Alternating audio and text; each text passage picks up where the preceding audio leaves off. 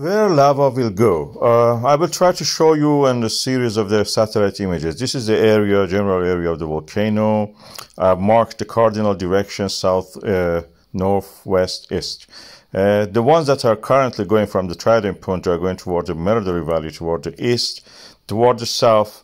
This new vent that is open, this new channel, going partly going toward the Miradori and then to the south toward the Geldenling and in Atai Valley.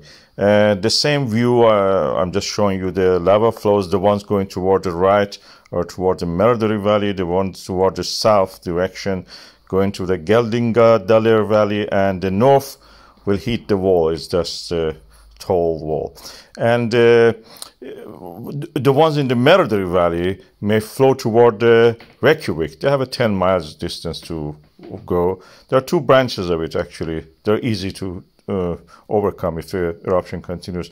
Toward the south is a little bit more difficult. Toward the east, that red arrow is most difficult because that's a fault line. We can build walls there to stop toward the Reykjavik and toward the sea where there is a farm and the road and the cables. And toward the east side again, the fault line is very high. We don't need, but if we need, we can do it. It's just six kilometers to the ocean from the south direction. That's the closest distance the lava has to go. Of course, the most easy and difficult way is in Atai Valley at the moment.